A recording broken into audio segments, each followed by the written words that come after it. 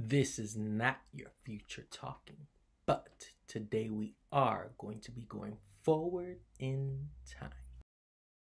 Good morning, friends. Today we are going to be talking about the hour on our analog clock.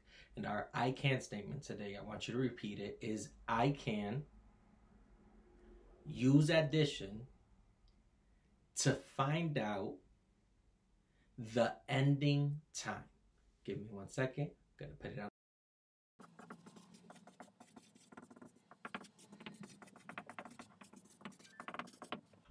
When we're talking about an ending time, that lets us know or it indicates that we should have a starting time. Today, you are going to be provided the starting time, and using addition, you will have to find out our ending time. To start off, I'm going to start with digital time. We're going to move on to our analog clock once we get into our definition box, but I want to start off with digital time to see how, what strategy can we use today to find this out. So if I was to have a start time of 8 o'clock, and I said that two more hours passed, what will be my end time? Well, one of the ways that I can find this out is by drawing a number line. Earlier this week, we used a number line to help us find out our time. We can use this again. Now, I know that I said that I'm starting at 8 o'clock. I said that two hours have passed. So, what I'm going to do is just to be safe, I'm going to do my number line starting at 1 and finishing at 15. So, I have, actually, I'm sorry. I'm so I'm going to use my number line. I'm going to start at 1 and end at 12. So we have 1, 2, 3, 4, 5, 6, 7, 8, 9, 10, 11, 12. My starting time is 8 o'clock. So what I will do is circle my 8. Then it said that I moved how many hours? Yes, two more hours. So because I already have my eight started, I'm not going to count this as one because I'm already at eight o'clock. I will move on to the next one. So I will go one.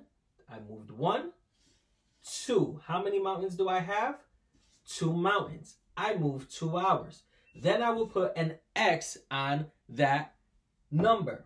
So that tells me that two hours after 8 o'clock is an end time of 10 o'clock. I use my counting on strategy. Or what I also can do is add, but I'm going to show you that on our analog clock.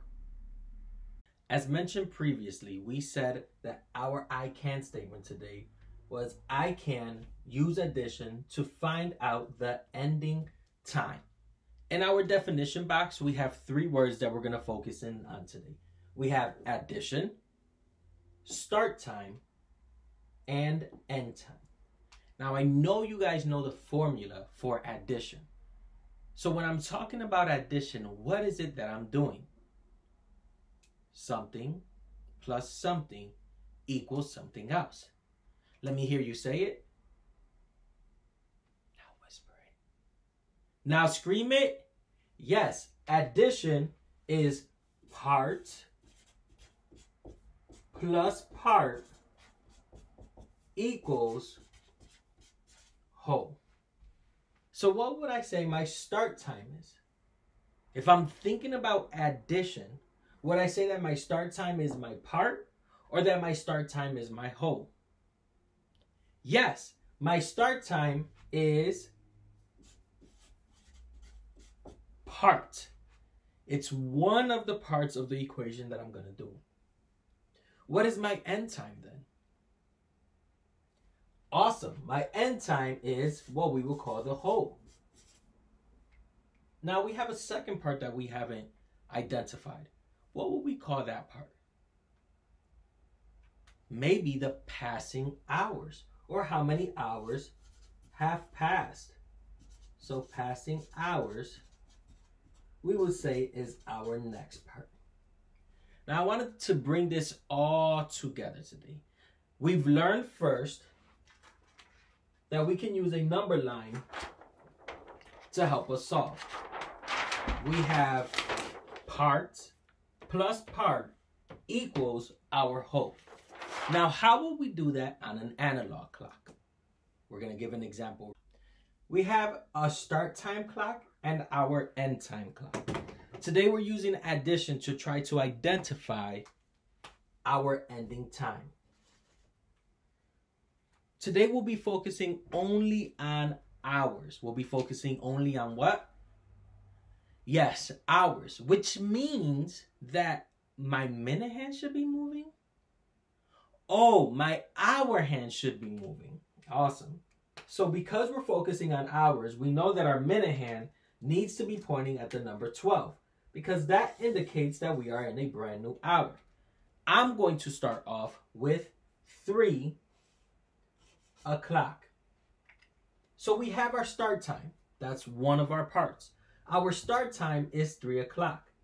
I'm going to say that 4 hours have passed. So if 4 hours passed, how would I solve this? I know that I can use the number line, but how else can I solve this? Well, I know that I have the number 3. Because we said that today we're using addition, I'm going to put my plus sign there. But then how will I figure out what is my second part? Well, if I look in my definition box, I see that my start time is the part. I have that. But where else do I see part? Oh, the passing hour. So that means that this number will be my second added. Awesome. And then that shall equal something. So 3 plus 4. Well, I can use my fingers. I can use my number lines. I can draw a picture. I'm going to draw a picture. So I will have three counters plus four more counters should give me my answer. So let me count them. Count with me. One, two, three, four, five, six, seven. Seven is my answer. But is seven a time? Seven is not a time. So how can I use addition to help me solve my analog clock?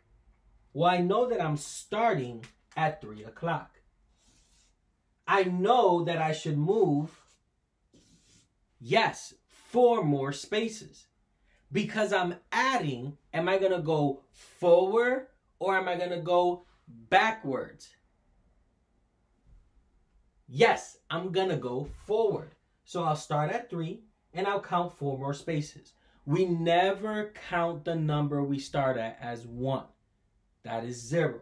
So let's move forward. We have one, two, three, four. My ending time was at seven. So I would say that my start time is at three. If four hours have passed, now it is Yes, 7 o'clock.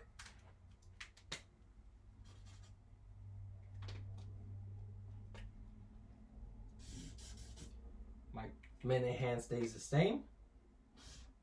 And I come to my hour hand. There have been four hours. I have four mountains. One mountain, two mountain, three mountain, four mountains. I just showed that 3 o'clock plus four more hours equals seven o'clock. Today, when you guys are doing your individual work, you are going to identify your end time. You will be provided your start time and how many hours have passed, and then you have to identify what is the ending time. High five, you guys crushed it today.